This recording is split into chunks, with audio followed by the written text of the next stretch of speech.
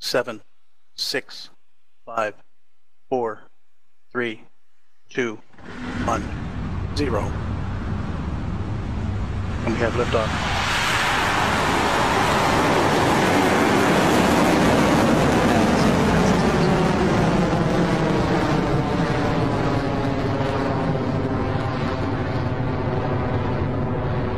Vehicle pitching over. Stage 1 propulsion is nominal.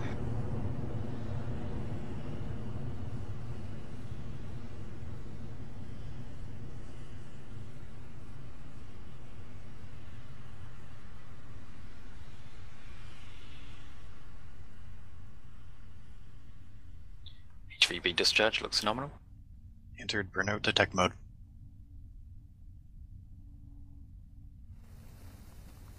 There we go. T plus 50 seconds into the NROL 199 mission on its Antipodean adventure. Electron's engines will soon power down slightly to prepare the rocket to pass through max Q, or the point of maximum aerodynamic pressure against Electron during launch.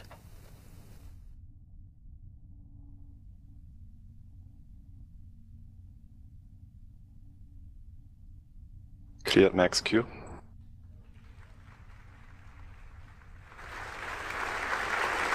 Stage 1 propulsion is nominal. And Electron has passed through Max Q, the rocket's first major test after leaving the pad at Launch Complex 1 on the coast. You see below there on your screen. Electron's nine Rutherford engines are firing hot as they burn through the first stage's tanks of liquid oxygen and RP1 propellant. T plus 1 minute and 42 seconds, and Electron's trajectory is also looking good.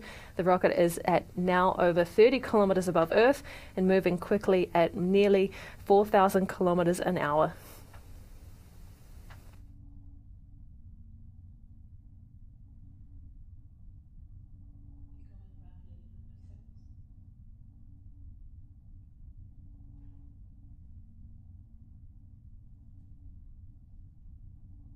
Fifteen seconds to MECO.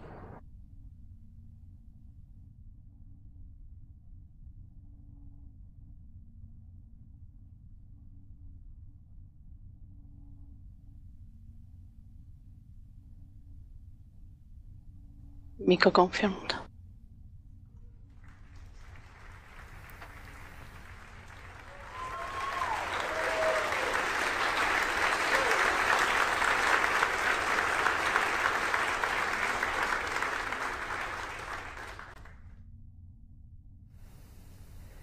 There you heard it and saw it on your screen. All three events happening back to back through MECO, stage separation and second stage engine start. Currently on your screen is Electron second stage, continuing nominally for the NROL 199 mission. Soon it will shed its payload protective fairing to lose the unnecessary weight now that the vehicle is in space. In fact, there it goes. We can see it falling away on our screen there. So the payload fairing has split in half and fallen away. The NROL 199 payload is now exposed to space in preparation for payload deployment, and Electron's second stage is continuing to orbit, carrying the kick stage and the payload. Everything continues to look nominal with the Rutherford engine glowing bright as it powers the mission on.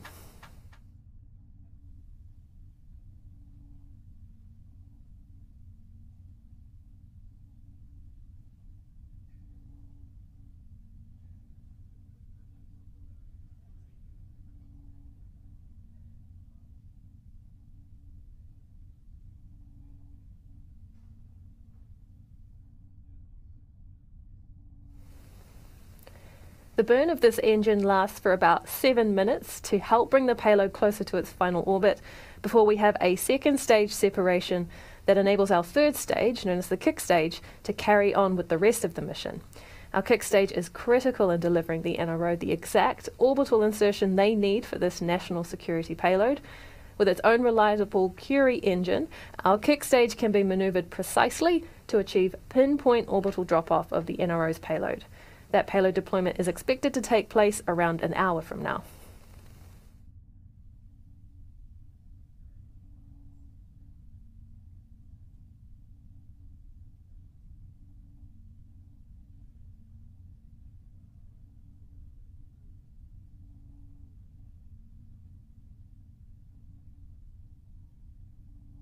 Stage 2 propulsion still nominal.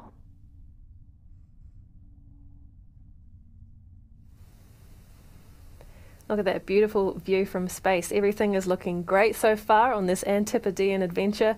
Coming up to T plus 5 minutes and 9 seconds, and Electron's Stage 2 engine continues to fire nominally along our expected trajectory, ready to deliver the NRO payload to space.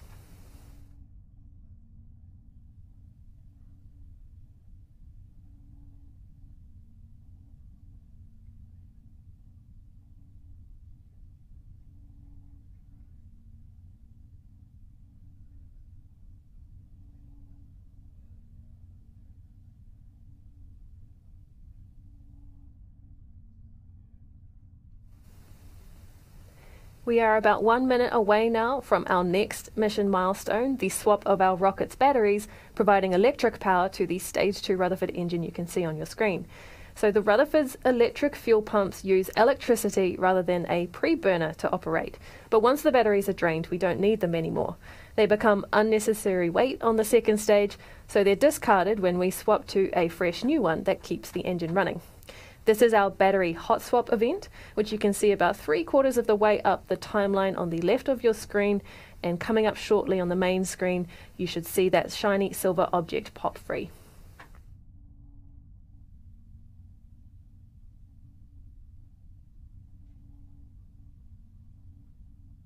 Throttling down.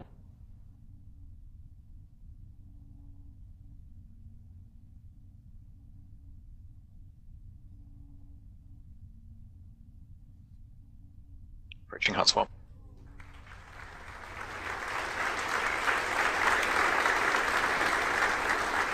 There you go, right on time. We have had battery hot swap on the second stage, confirmed across the nets and visually if you saw them falling away from the rocket on your screen there.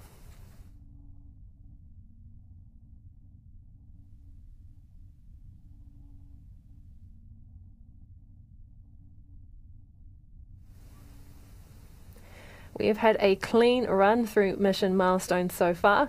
It was only seven or so minutes ago that Electron cleared the pad at LC1, having since completed successful passes through max Q, main engine cutoff, and stage separation to reach this point now in the mission.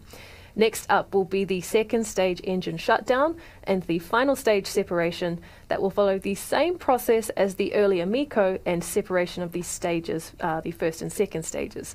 So right now though, with stage two's engine still firing, the mission remains on its trajectory to orbit as expected and all is going well for NROL 199. FTS is safed.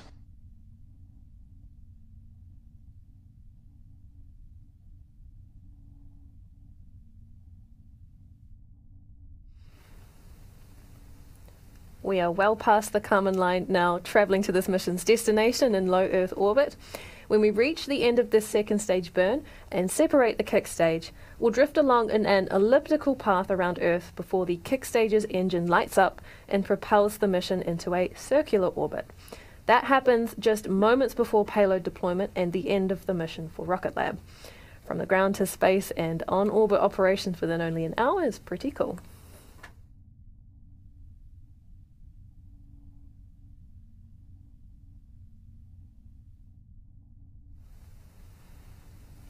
Okay, so in the next minute or so, we should reach the final acts of the second stage for this mission, the shutdown of its Rutherford engine called SECO, before the kick stage separates and carries on with the payload.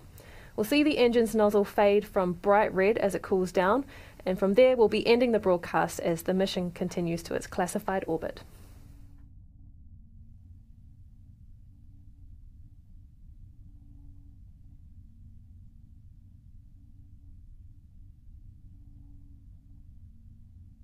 SECO confirmed. Stage 3 separation. Perfect transfer orbit.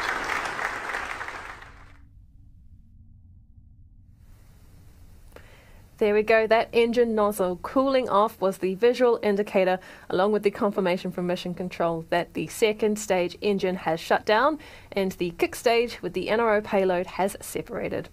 There are still a couple of events to go on the third stage before payload deployment for the NRO. Our third stage will first complete that initial pass of Earth before it ignites to circularize its orbit and bring the payload to its drop off point in space. That action will mark the end of the mission for Rocket Lab, but the start of the spacecraft's operation in space for the NRO, and we'll update you on payload deployment across our social media channels once it's confirmed.